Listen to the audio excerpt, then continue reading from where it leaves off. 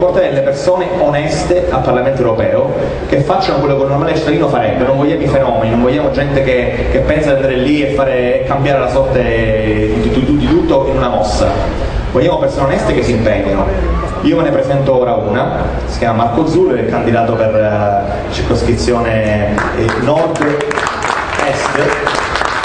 eh, Italia Nord-Est, che vi parlerà un po' anche del nostro programma per, eh, per le e di qual è l'obiettivo reale del Movimento 5 Stelle, che come dice anche il nostro slogan, è cambiare l'Europa per cambiare l'Italia, perché oggi l'Europa è influente sulle nostre vite molto più di quello che immaginiamo, perché se un giorno troverete eh, che per fare una radiografia all'ospedale, che un anno come oggi, ci vorranno due anni, è perché quando servono soldi da dare per pagare i debiti o per l'Europa, soldi vengono presi sempre da due bacini, sanità e scuola. Quindi questo è molto più vicino a quello che immaginiate l'Europa, ma fino ad ora c'è stato un altissimo tasso di astensionismo. Alle ultime elezioni europee, su 500 milioni di cittadini europei, 280 circa milioni avevano diritto al voto, hanno votato neanche un terzo di questi. Io vi chiedo di far capire a chi vi sta vicino o a chi vi sta lontano se avete tanta voglia di lavorare in questo mese, tanto è solo un mese, basta metterci un po' di impegno tutti, è un mese, far capire alle persone che ci stanno vicino che le elezioni europee non sono qualcosa così, un referendum sull'Europa, sono determinanti per il nostro futuro, perché se il prossimo anno ci troveremo a pagare 50 miliardi per, per, il fiscal compact, sarà colpa nostra che abbiamo scelto di non cambiare le cose. E allora le più grandi rivoluzioni nascono dal popolo, che sceglie di mettersi la faccia, di metterci la faccia e sceglie come diceva all'inizio che vi raccontate eh, Etienne de la Boitier, di, di, uscire dal concetto di schiavitù e tornare sovrano. Ora vi faccio raccontare qualcosa sulle elezioni europee, sul nostro programma da Marco Zullo e vi ringrazio per avermi ascoltato.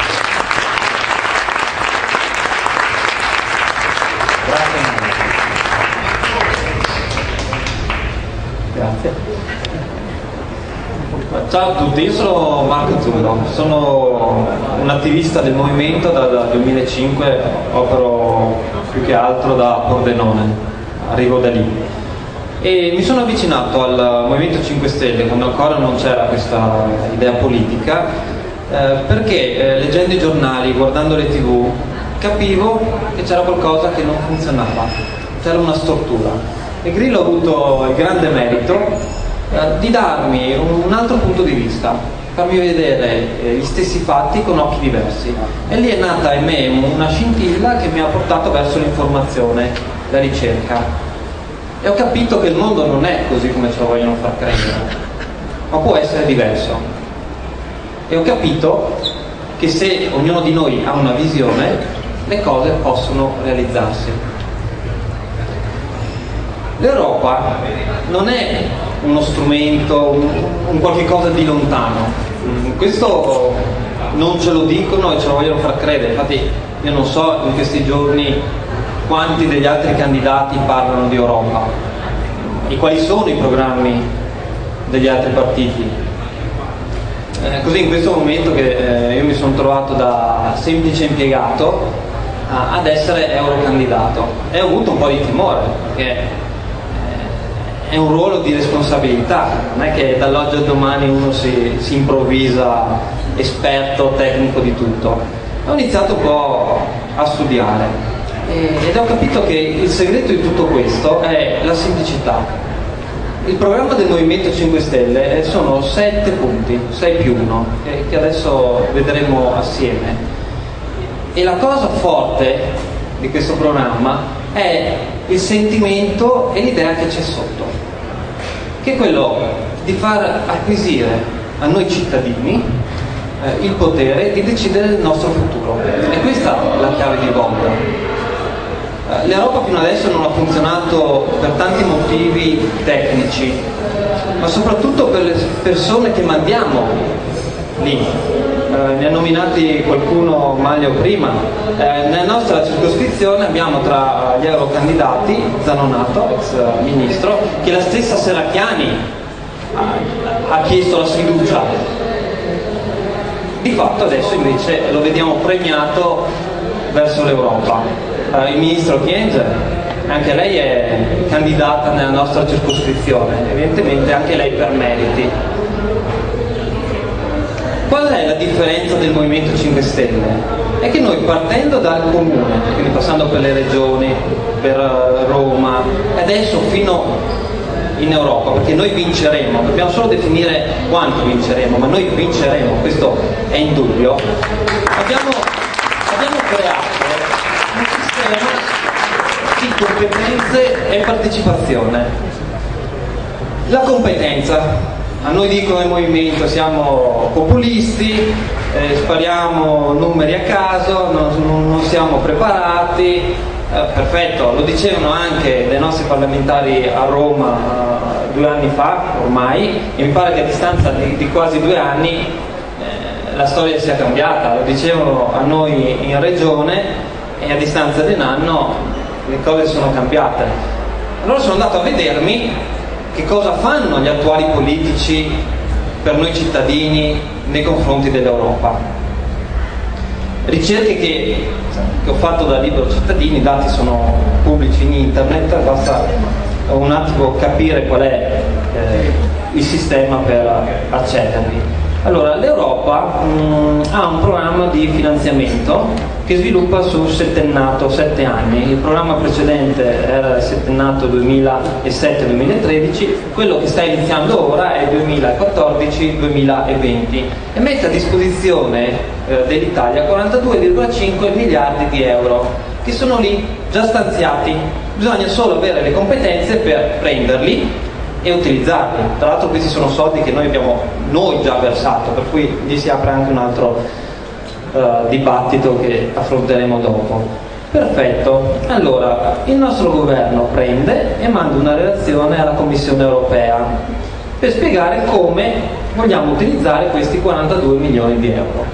Allora mi dico, ci saranno fior fior di tecnici che manderanno una relazione con i fiocchi, però qua abbiamo una ventina di, di osservazioni della Commissione iniziano così. Allora, con riferimento all'impostazione generale, la Commissione rileva che esso è ancora lontano dal livello di maturità richiesto. Perché? Perché è privo di intere sezioni previste dal regolamento. Cioè, se io facessi una cosa del genere a lavoro, il giorno dopo sarei casa. Sarei a casa. Uh, molte delle sezioni presenti contengono alcune informative strutturali. Non si concentrerebbe sulle priorità fondamentali. Gli obiettivi tematici presentati in maniera generale sono deboli riferimenti alle raccomandazioni specifiche. La logica di intervento è inadeguata. Vi sarebbe un notevole squilibrio tra l'analisi e le priorità scelte. I risultati sono di difficile misurazione. Dovranno essere indicati i dati di partenza rispetto agli obiettivi attesi risulta impossibile una chiara strategia di sviluppo territoriale. Ma ci stanno prendendo in giro. Cioè, abbiamo 42,5 miliardi di euro lì da poter utilizzare e rilanciare il nostro territorio e noi mandiamo, mi pare anche quest'anno, la Iva Zanicchi in Europa a, a tutelare i nostri interessi sì, forse quest'anno ha studiato. ed, è, ed è questo il segreto di tutto. L'Europa è uno strumento per valorizzare i nostri territori. Ha delle cose positive, ha delle cose negative che con i nostri sei punti andiamo ad affrontare.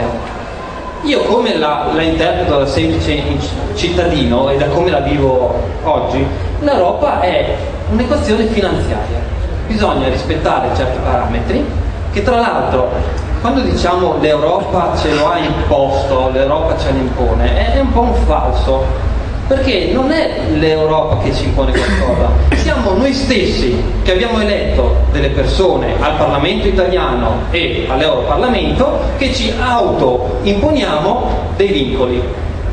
E perché lo facciamo? Non lo facciamo per noi, lo facciamo perché ci sono delle lobby di interessi che hanno altri interessi appunto.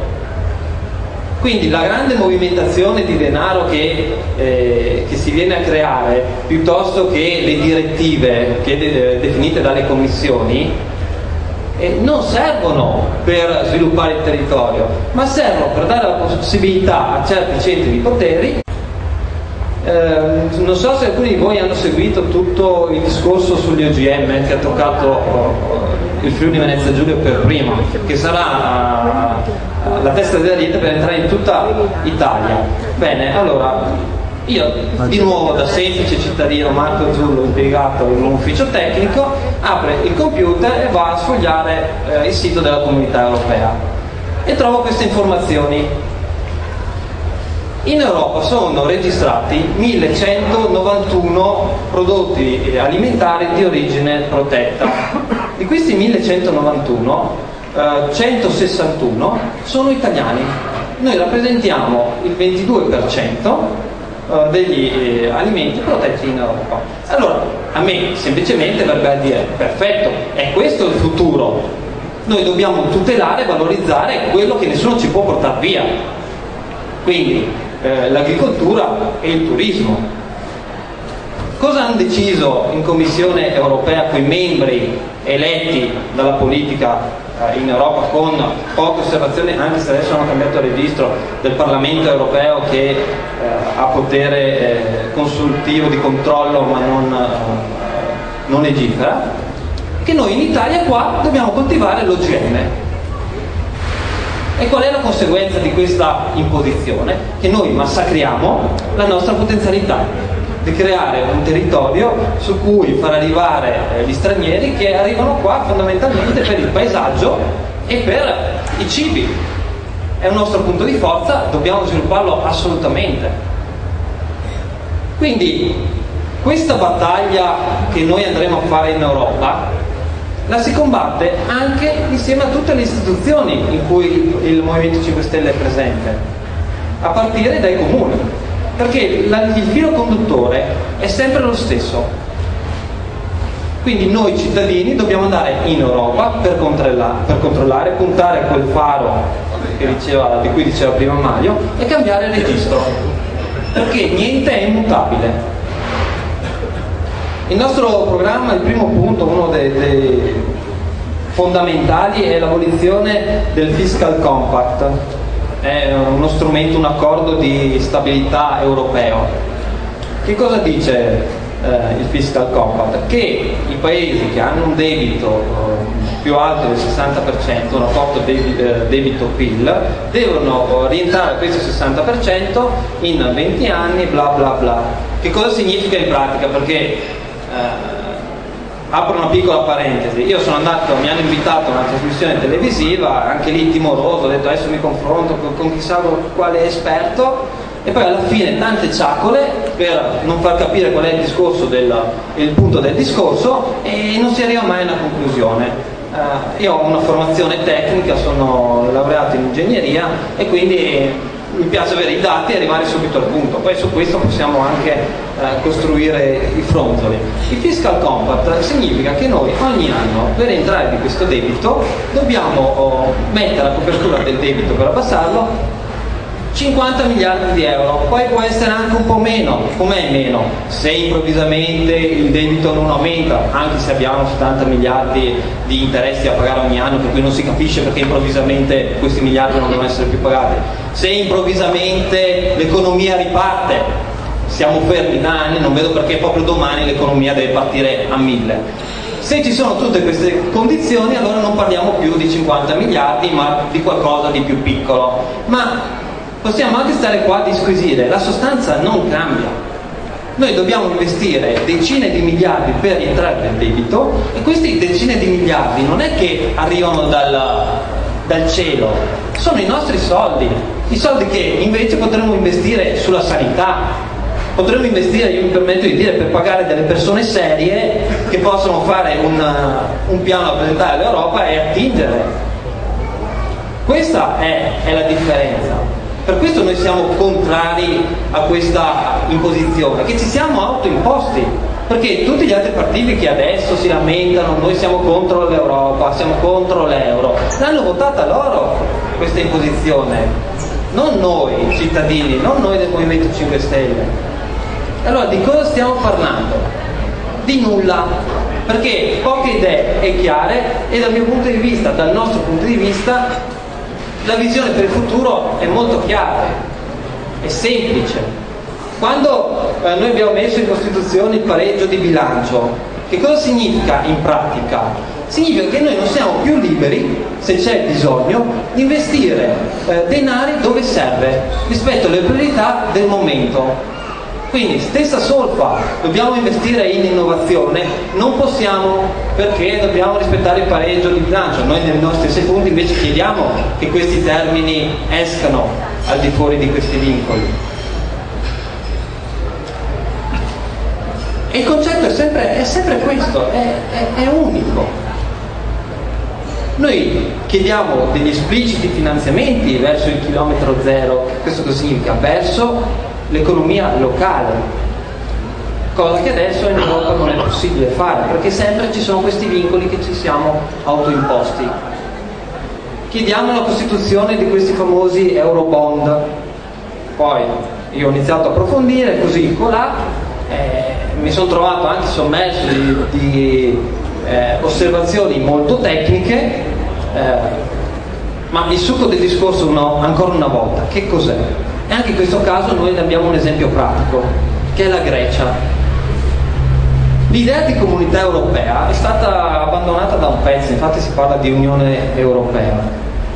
La comunità richiede un senso di appartenenza e di reciproco aiuto. Quindi se c'è qualcuno di noi in difficoltà e fa parte di una comunità, si aspetta di essere eh, sostenuto dai suoi compagni e amici, non di essere messo in disparte e, e fatto fuori. Quindi l'Eurobond è uno strumento finanziario che serve a condividere i debiti in modo da fare senso di gruppo, di muoverci assieme, perché altrimenti che cosa succede? Succede come la Grecia. Eh, L'Italia ad oggi eh, è ancora salva perché il suo debito non è in mano agli italiani, non era in mano agli italiani, ma era in mano alle banche straniere. Quindi far saltare l'Italia significava far saltare, far perdere un sacco di soldi ai gruppi finanziari esteri. Da quando è arrivato Monti il trend è cambiato e l'Italia con le nostre tasse sta ricomprando il suo debito. Così come quando è successo in Grecia, non appena il nostro debito sarà nella maggior parte a carico degli italiani, noi verremo abbandonati. E questo è il futuro che ci aspetta se noi non cambiamo visione non cambiamo strategia e per fare questo bisogna cambiare chi abbiamo al governo, in Italia e a tutti i livelli, altrimenti non usciamo fuori.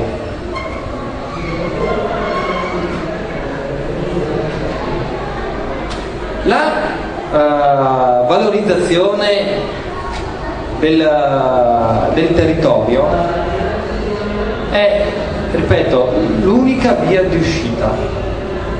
Noi dobbiamo uh, tornare a alle nostre terre, questo non significa chiuderci o essere uh, o implorirci, significa aprire anche un dibattito con gli altri paesi eh, del Mediterraneo che più o meno sono nelle stesse eh, condizioni e fare eh, massa critica. Ma massa critica non uno contro l'altro per imporre chissà quale visione, ma semplicemente per eh, dare la possibilità a tutti noi di eh, rilanciare l'economia basandosi sugli strumenti che abbiamo a disposizione.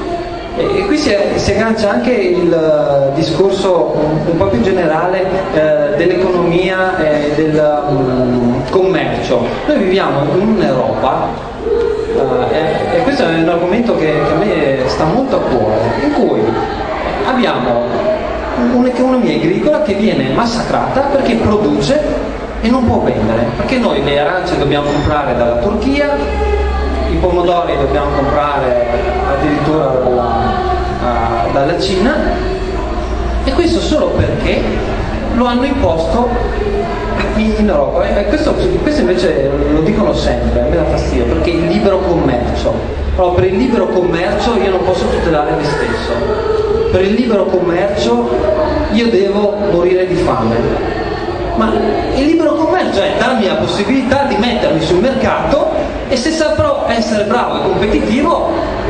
sopravvivo. e guadagno, esporto il famoso Made in Italy. Questo è il libero commercio. Non come ricordo qualche anno fa, libero commercio significa chiamare aranciata una bevanda che non ha arance. Il libero commercio oggi è chiamare cioccolata un cibo che non ha cacao, perché questo è il libero commercio. Allora noi non siamo uh, euroscettici contro l'Europa, noi semplicemente non vogliamo questo tipo di Europa, perché questo tipo di Europa non valorizza noi cittadini, ma è solo un'imposizione. Quindi come diceva Maglio, anch'io vi, vi esorto a, ad andare in giro tra le vostre conoscenze e, e far capire l'importanza di queste votazioni. Perché un'altra cosa, sempre che ho scoperto in questa brevissima carriera di ero eh, candidato, io mi, mi, aspettavo di, eh, di, andare in giro per le tv, di essere chiamato di qua, di là.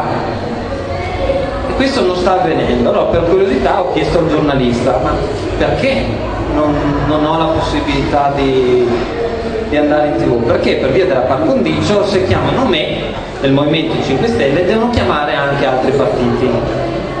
Gli altri partiti hanno deciso che è meglio non farsi vedere perché ogni volta che aprono bocca perdono voti e qua torniamo al concetto dell'informazione. Non ci vogliono far sapere le cose. Quindi ci vogliono far vivere nell'ignoranza e andare avanti come niente fosse. E questo gioco io credo che finirà, perché 25, 30, 35, 73 eurodeputati eh, li manderemo a Bruxelles. E lì avranno il compito di rendere visibile cosa sta succedendo come mai i fondi non vengono utilizzati e se vengono utilizzati spesso vengono utilizzati male. Eh, noi come Italia utilizziamo circa il 40-42% dei fondi che ci vengono messi a disposizione. Eh, del settennato uh, per una serie di, di regole uh, ne usiamo ancora meno però c'è un vincolo sulla legislazione per cui abbiamo due anni aggiuntivi di tempo per usufruire dei soldi cui, eh, di cui non abbiamo usufruito e questo in cosa si traduce nella pratica? che per fare le cose male e in fretta il rimanente saldo che non abbiamo utilizzato o non lo usiamo e mi verrebbe da dire per certi versi nella migliore delle ipotesi perché l'altra ipotesi è ancora peggio la usiamo di fretta e furia con questi vincoli che ho detto prima per dare da mangiare a qualcuno di specifico e tutto questo perché? perché non c'è, pre- non c'è progettazione non si ha un'idea del futuro il piano europeo è, eh, si sviluppa su sette anni e ci sono tutte le tappe. Il compito dei parlamentari europei, che controllano le commissioni, è quello di intervenire in questi sette anni per far presente quali sono le necessità del territorio che rappresentano. Perché poi quando entri eh, nel momento giusto i tuoi bisogni vengono presi in considerazione e quindi c'è la possibilità con più facilità di usufruire di certi finanziamenti. Se questo non si fa come adesso, poi noi ci troviamo calato dall'alto un bando, una possibilità che non si adatta alle nostre esigenze. E quindi anche per questo, nel caso delle, del terremoto e delle autostrade irlandesi, perdiamo finanziamenti. Come vengono utilizzati i finanziamenti? Abbiamo una burocrazia in Italia che è allucinante. Dal momento in cui l'Europa mette a disposizione il, il bando, il, la possibilità di accedere a dei fondi, da questo momento alla um, presentazione del bando in Italia possono passare anche fino a 4 anni. Aperto il bando dalla creazione della della graduatoria può passare fino a un altro anno, anno e mezzo e siamo a 5 anni e mezzo. Poi c'è un altro po' di burocrazia e dei 7 anni che abbiamo a disposizione dobbiamo fare le corse per usare tutto in un anno, sei mesi. Capitano anche di queste cose qua. È ovvio che noi non sappiamo utilizzare e sfruttare questi finanziamenti, perché poi questo iter chi va a finanziare, chi va a sostenere? La piccola azienda che per fare innovazione sul territorio deve aspettare 5 anni? No, va a finanziare quei grandi gruppi che sono già autonomi e che magari si inseriscono in questi canali contributivi perché hanno le spalle coperte. O peggio, perché è uscito fuori anche questo, le voci di finanziamento sono diverse centinaia, perché l'Europa non è proprio così trasparente come ci vogliono far credere. Per cui se uno sa prima, e questa è la questione delle lobby di cui si parlava stamattina, sa a quale canale contributivo accedere e in quale momento e magari sapendo anche già che cosa presentare, allora utilizza il fondo. Se uno non è eh, pratico di questi meccanismi, non usufruisce di niente. Cioè la mentalità è sempre la stessa e noi la dobbiamo cambiare. Lo stai dicendo che sono visti, immagino, Sì, ma allora eh, chiariamo una cosa, il lobbismo non, giuridicamente non, non, è un termine cattivo, è un uh, farsi promotore di è una spinta da parte di portatori interessi. Allora io vorrei che si parlasse ancora di lobbismo, ma lobbismo dei cittadini. Cioè ci devono essere gruppi di cittadini che fanno capire quali sono le priorità. La mia priorità non è rispettare il 3%, non è rientrare nel debito. La mia priorità è avere delle regole che in questa situazione di crisi mi permettano di tirare su l'economia locale e di tutelare i cittadini nella sanità. Perché tutto torna a noi cittadini. Se noi abbiamo il vincolo sulla sanità, perché dobbiamo rientrare del, del, del, debito, quello su cui si va a incidere in minima parte sono gli sprechi, ma sono tagli generalizzati, lo hai detto prima tu, sanità e istruzione, che sono valori chiavi, sanità perché ovviamente se, se moriamo presto eh, ci interessa poco, e, l'istruzione è l'altra chiave, perché l'istruzione è legata all'innovazione famoso Made in Italy, cioè è da lì che arriva e noi sempre su questi canali andiamo a tagliare. Marco scusa però se noi eh, moriamo presto ci pagano meno pensioni e il conto ma può darsi che abbiano anche fatto questo ragionamento. Quindi un taglio anche lì. Schiavi e ignoranti. Queste sono parole chiave. Invece quelle che piacciono a noi sono credibilità, perché la credibilità è, è, persa. Parlavamo, prima nominavi alcuni casi, cioè io non so con che credibilità in Italia i, eh, gli avvocati di Berlusconi a metà aprile hanno fatto ricorso alla Corte dei diritti umani perché Berlusconi non si può candidare alle europee. Ma io lo trovo ridicolo, ma mi pare un giudizio troppo, troppo generoso dire che è ridicolo credibilità e sentire Renzi eh, che a Letta dice non ti preoccupare poi lo fa fuori, mai premia senza elezioni, ce lo troviamo premio. Credibilità in 10 punti è dire abbiamo imposto un limite massimo alle amministrazioni delle partecipate, poi vai un attimo a approfondire, è un limite suggerito. Allora il Movimento 5 Stelle eh, ha presentato un programma che è stato copiato pari pari dalle altre forze politiche, ma a me piace sempre dire, loro lo dicono e noi lo facciamo. Cioè il movimento all'opposizione come, eh, come emendamenti ha fatto cose importanti. Eh, le citavi prima tu, il, il conguaglio tra credito rispetto alla pubblica impresa eh, la pubblica amministrazione e, e, i privati.